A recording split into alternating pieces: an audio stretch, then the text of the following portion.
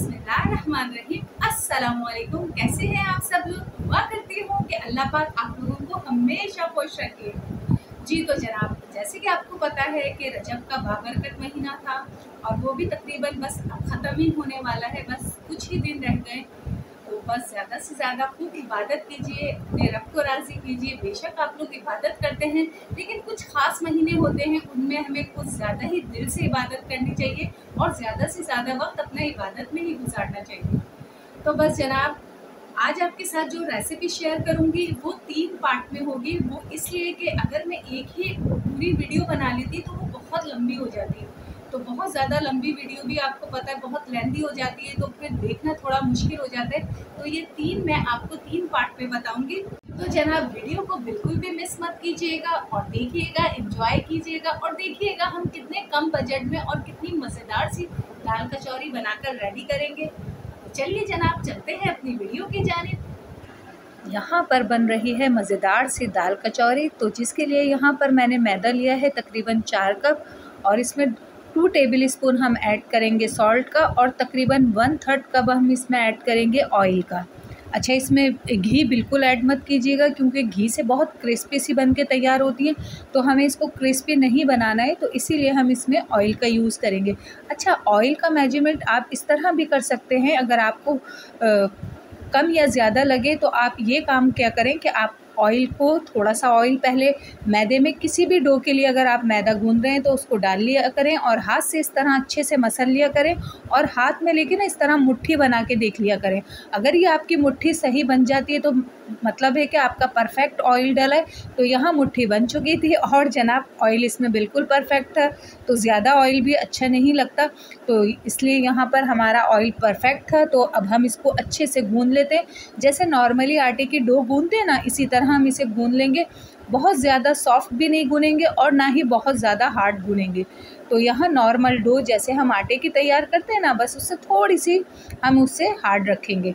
तो यहाँ पर हम डो अच्छे से गूंद रहे हैं और ये यकीन करें कम बजट में बहुत मज़ेदार सी रेसिपी आप इसको बनाकर फ्रीज़ भी कर सकते हैं। वो किस तरह करेंगे, वो इन मैं आपको नेक्स्ट वीडियो में ज़रूर बताऊँगी। तो वीडियो बिल्कुल स्किप मत कीजिएगा, देखते रहिएगा।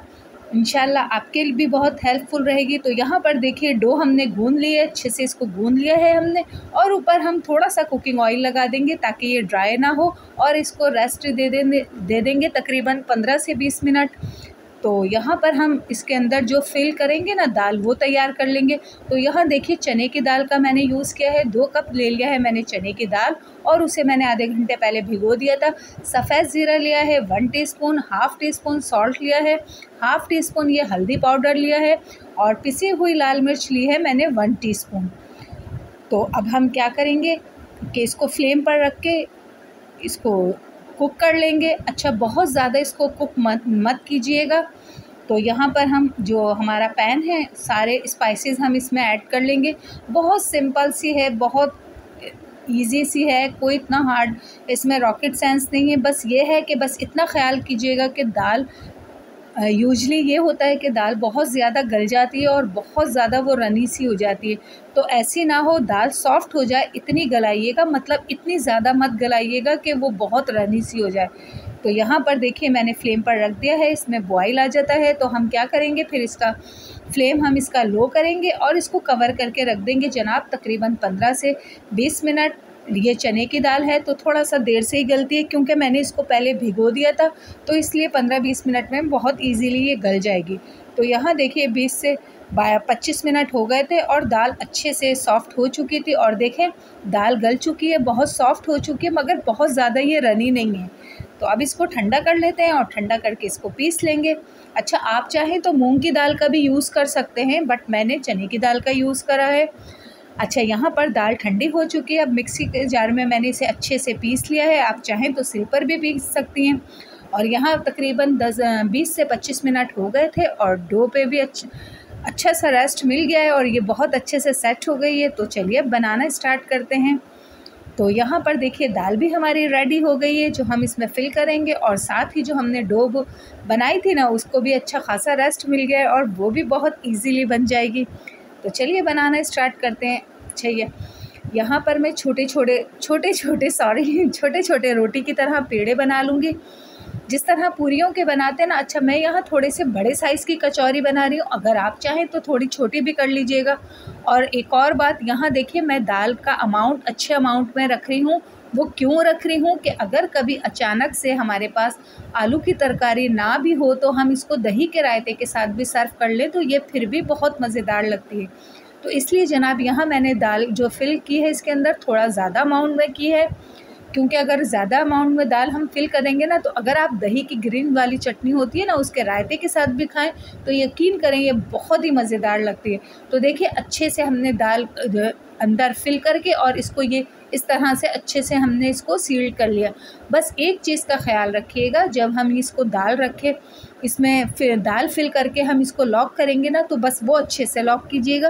क्योंकि अगर वो थोड़ा सा भी लीक हो गई ना, क्यों तो फिर वो ये होगा फ्राई करते हुए सारा ऑयल हमारा ख़राब हो जाएगा और कचौरी के अंदर ऑयल भर जाएगा, जिससे इसका जायका बिल्कुल ख़राब हो जाएगा। तो देखिए, यहाँ मैंने छोटे छोटे पूरियों की तरह पेड़े बना लिए हैं। तो यहाँ मैंने मीडियम साइज़ के बनाए, आप चाहें तो इससे छोटे भी बना सकते हैं और वैसे दाल की कचौरी जो होती है वो इससे छोटी ही होती है। मैं थोड़ी थोड़ा सा बड़ा साइज़ बना रही हूँ और दाल भी अच्छे अमाउंट में रख रही हूँ। तो देखिए, इस तरह अच्छे से लॉक कीजिएगा ताकि जब हम फ्राई करें ना तो दाल दाल बाहर ना आए। और इस तरह इसको प्रेस करके हम इसको हाथ से इस तरह फ्लैट कर लेंगे ना तो ये बहुत अच्छे से और बहुत ईजीली ये लॉक हो जाएगा। तो बस हाथ की हेल्प से इसको कीजिएगा।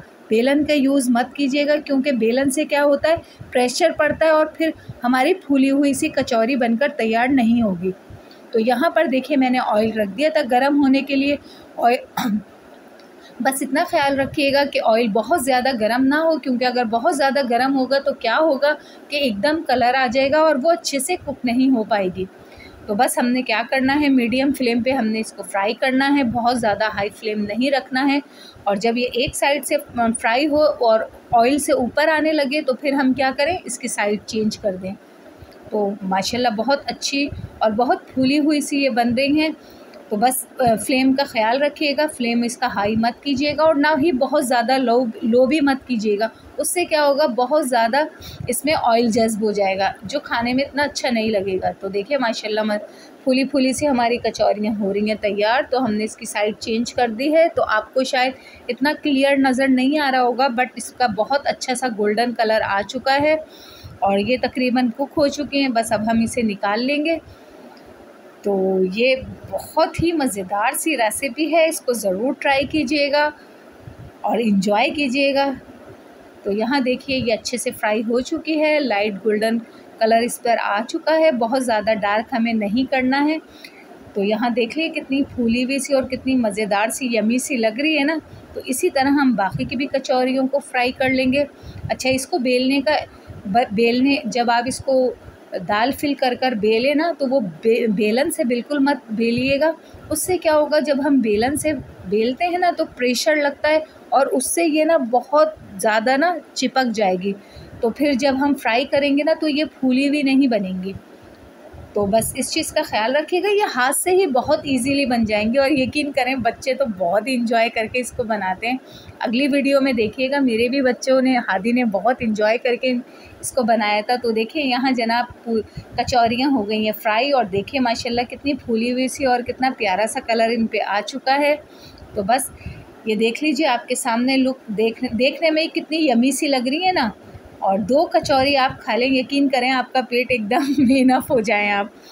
तो यहाँ पर मज़ेदार सी कचौरियाँ हो गई हैं, फ्राई और लुक देख लीजिए आप। माशाल्लाह कितनी फूली हुई सी और कितनी अच्छी सी बनी हुई हैं। तो जनाब, यहाँ पर लाइट जा चुकी थी, इसलिए एक लाइट बिल्कुल ऑफ़ हो गई है। तो कलर इतना अच्छा नहीं आ रहा है, बट आप फ्राई करेंगे ना, आपको अंदाज़ा हो जाएगा कि कितनी यमी सी और कितना अच्छा सा इस पर कलर आता है। अच्छा इसको हम सर्व करेंगे आलू की तरकारी के साथ। तो वो नेक्स्ट वीडियो में आपके साथ शेयर करूँगी। आप चाहें तो अचार के साथ भी सर्व कर लें, साथ में अचार भी रख लें। और जनाब, हमने जो दाल इसके अंदर इसके अंदर फिल करी है ना, वो अच्छे अमाउंट में करिए अगर आपके पास एनी टाइम ना भी हो तरकारी तो आप इसको रायते से भी सर्व कर सकती हैं। अच्छा यहाँ हादी आपको तोड़ के दिखा रही हैं एक कचौरी। तो देखिए, माशाल्लाह से इन्होंने इतने प्रेशर से तोड़ी थी ना, वो बिल्कुल बेचारी दब गई। तो देखिए, कितनी अच्छी सी फूली हुई सी कचौरी हमारी है ना तैयार, और अंदर दाल का अमाउंट भी ज़्यादा है।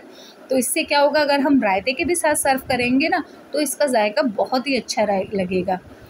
तो जनाब, ये थी मेरी आज की रेसिपी कल की भी वीडियो बिल्कुल मिस मत कीजिएगा। उसमें हम देखेंगे कि हम किस तरह कचौरी को बनाकर फ्रीज़ कर सकते हैं। दो से तीन महीने तक बहुत इजीली हम इसको यूज़ भी कर सकते हैं और ये मज़ेदार सालन की भी रेसिपी आपके साथ शेयर करूँगी। तो बस जनाब वीडियो बिल्कुल इसको स्किप मत कीजिएगा और कल की भी वीडियो ज़रूर वॉच कीजिएगा। आज की रेसिपी आई होप कि आपको पसंद आए तो कल की वीडियो भी बिल्कुल मिस मत कीजिएगा। उसमें हम आपके साथ शेयर करेंगे कि इन कचौरियों को दो महीने तक के किस तरह हम इजीली फ्रीज करके यूज़ कर सकते हैं। तो जनाब कल की वीडियो ज़रूर देखिएगा। तो फिर मिलते हैं इंशाल्लाह कल नई वीडियो के साथ। तब तक के लिए मुझे दीजिए इजाज़त और अपना रखिएगा ढेर सारा ख्याल। तो मिलते हैं नेक्स्ट वीडियो में। तब तक के लिए अल्लाह हाफिज़।